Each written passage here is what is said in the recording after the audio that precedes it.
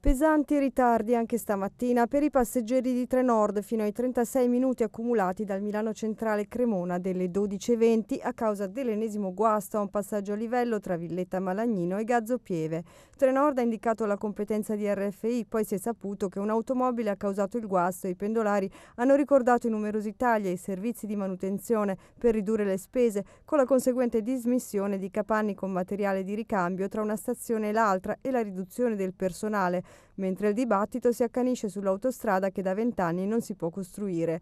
L'avviso è uscito alle 14.04 con ripercussioni e tempi lunghi per le corse successive, ma ci sono stati problemi anche sulla Cremona-Treviglio alla stessa ora per la necessità di prolungare i tempi di preparazione del convoglio all'interno del deposito. È un quarto d'ora perso. I pendolari non credono sempre alle giustificazioni della società ferroviaria lombarda. Ieri mattina i problemi ai semafori in realtà non c'erano, come ha notato una passeggera del Cremona Codogno Milano delle 6.54, mentre altri si lamentavano per il freddo eccessivo nelle carrozze. Il treno da Piacenza è passato davanti a quello da Cremona ed è arrivato prima a Milano.